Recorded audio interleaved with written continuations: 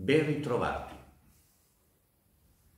Faccio un passo in avanti e eh, faccio qualche riflessione su un altro valore faticoso da vivere che è il valore della umiltà.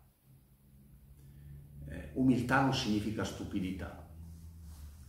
Umiltà invece è la persona è umile quando ha coscienza sicuramente delle sue capacità, delle sue possibilità, ma anche dei suoi limiti.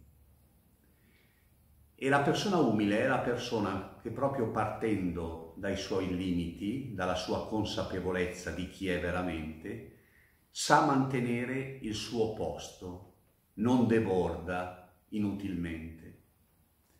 Dicevo, è uno dei valori più impegnativi da vivere perché tutti ci sentiamo umili e vorremmo che gli altri fossero altrettanto umili nei nostri confronti. In realtà siamo poco umili in tante situazioni perché questo posto che è il nostro ci infastidisce tenerlo. Noi vorremmo sempre andare avanti, essere al primo posto, essere in prima fila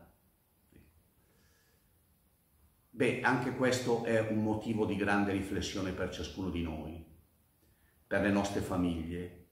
Quanto siamo persone capaci di vivere questa consapevolezza e di essere umili nel nostro rapporto con chi ci sta accanto e nel nostro rapporto con l'ambiente che ci circonda.